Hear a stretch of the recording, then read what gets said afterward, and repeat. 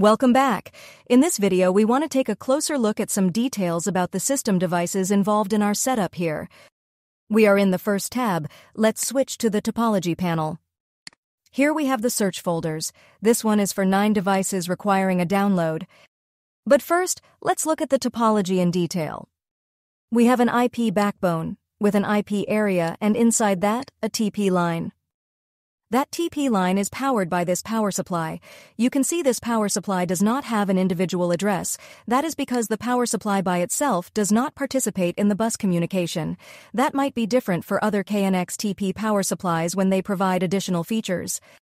These devices here are part of the TP line. You can tell by their individual addresses, ranging from 1.1.1 to 1.1.5. We have here also a RF segment. A segment is a new feature available only in ETS6.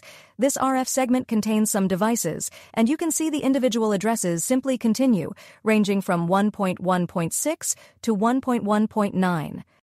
With that, a TP line, for example, can easily be extended at any point with a segment of another medium type, in this case, radio frequency. In this RF segment, we need a segment coupler, connecting these RF devices to the TP line. That is done by this KNX RF multi-TP media coupler. That's it for today. You can find the link to the exported project in the description below. It also contains a clue for the next video.